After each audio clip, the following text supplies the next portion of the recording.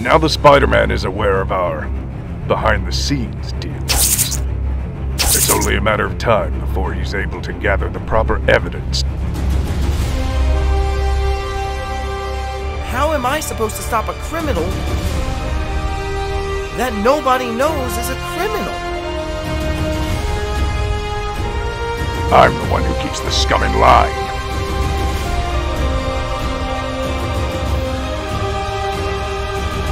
keep order in this city.